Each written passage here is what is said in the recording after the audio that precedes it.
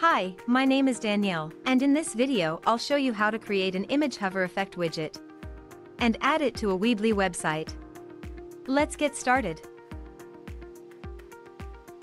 The image hover effect widget is a great addition to any website.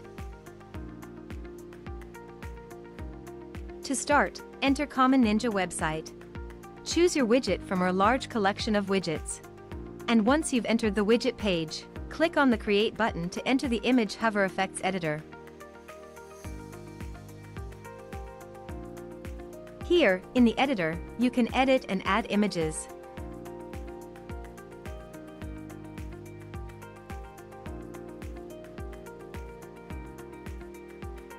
You can select from multiple animations and effects.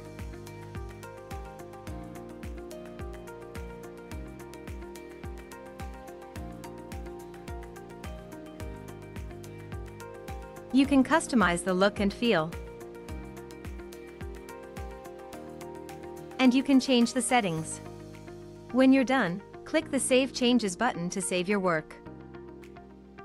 If you don't have an account on Common Ninja yet, you'll have to register first. When you're ready to add the Image Hover Effects widget to your website, go back to the dashboard. Now, on the dashboard, you'll see the widget you've created click on the Add to Website button. In the window that opens, copy the code. And close the window. Remember, you can always return to the widget and keep on editing it. Now let's head to the Weebly editor.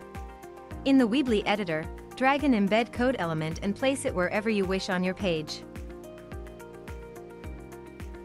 Enter the element and click on Edit Custom HTML. Now, simply add the widget code that you copied before. Click anywhere outside the custom HTML window, and that's it. Now, the image hover effect widget will show on your website.